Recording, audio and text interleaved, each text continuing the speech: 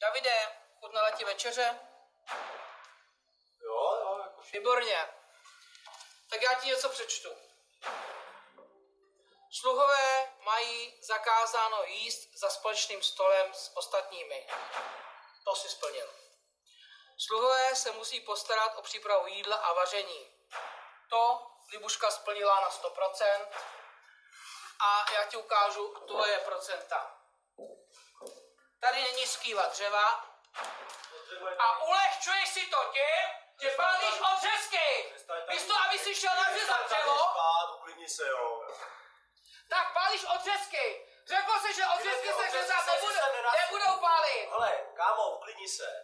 Neřvi tady. Tvojí povinností je nandat dřevo tam. Neřvi tady. Skli- Sklapni, ještě se nemluvil. No to neřvi, nemusíš tady Sklapni, Tyhle ty odřezky jsem si... sklapni, Nebudeš se mnou tak Sklapni. mluvit, ani to nedokážeš. sklapni, Hele, tyhle ty Sklapni. odřezky jsem si tady nedal já. sklapni, Chápeš? sklapni, Ty jsi blázen. sklapni, Ty jsi, ty jsi sklapni. úplně... To by fakt hrabe teda. To si teda povím. Tak, budem